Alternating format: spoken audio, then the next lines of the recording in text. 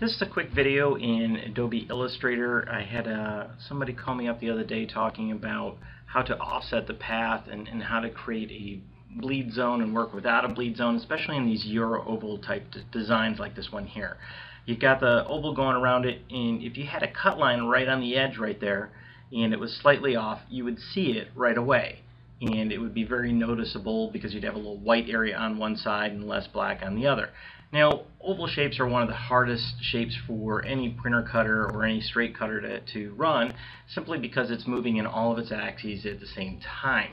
So it's, it's easy for these ones to get slightly off. Um, one trick is to add more bleed to it, and on the second one here, uh, you can see we've got this oval, and they've got a bleed zone set up, so if I take that off, you can see the bleed goes away. But the problem is with these is even with the bleed in there and the black on the edge, you're getting a heavy saturation of ink on the edge, so the medium might tend to curl a little bit, making it harder to work with for the end user.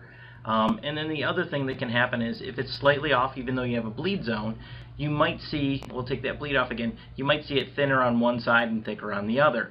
And it gives kind of a, a visual effect that the customer can pick up on. Well, what I advocate is actually contouring out from the design so that you have a white area around that black area. Your cut line's not going right on the edge of it so that now the customer's not going to see the white area as much as they are the black. The black draws their eyes to it, so if that's slightly off, they see it.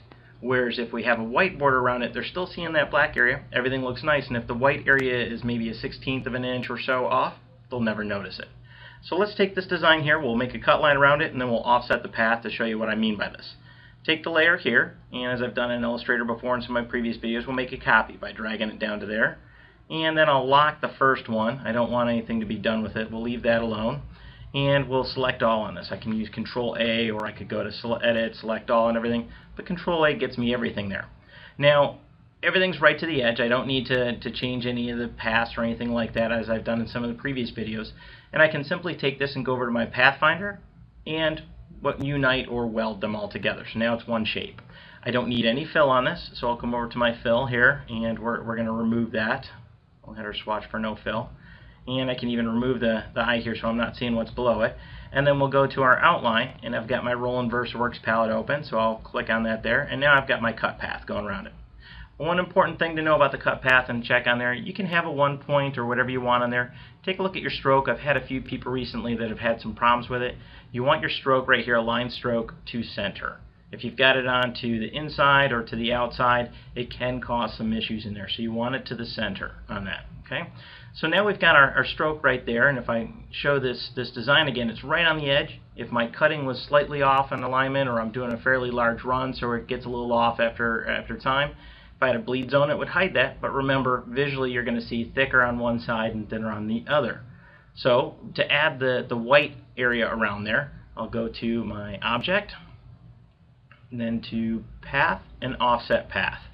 And when I click on that, comes up with an offset path dialog in here, and I've got a 0.05. I can click on the preview, and I can see exactly how far that is. Maybe I want it, uh, let's go a little bit longer, 0.8, and we'll hit preview again, and that's a decent amount of white there, but a little too much for what I'm looking for. We'll do 0.65. Uh, and again, I, I hit the preview and turn it on and off, and there it is, right there. That looks pretty good to me. So when I hit OK, now I've got two lines in there. If I drop down my layer, I can see I've got two paths and some guides in there. That was the preset from the, the graphic that was sent to me for this example. I just want to grab that one on the inside right here and delete it. So now I have my graphic here. I have a little white outside there, if my white is off by a sixteenth of an inch or even maybe up to a quarter of an inch, people aren't going to notice that as much as the black line right there which draws their eyes to it. So it kind of hides that effect and gives us a, a, a negative bleed zone, for example. So that's one of the graphics here. And we'll take the second graphic, this guy right here. Same concept on this whole thing. I don't need the bleed on this one. If I had that bleed right there, that was for the black bleed. Let's get rid of that. We'll just throw that in the trash can. And this layer here, all the graphics will bring that and duplicate it and we'll lock the original layer and we'll turn it off so that you don't see it. And then the first layer right there close that out sorry. We'll hit control A and it, it selected everything in there. I'm again going to weld it. I want no fill so we'll go to our fill here give it no fill. And on the outline we can make it that cut contour again.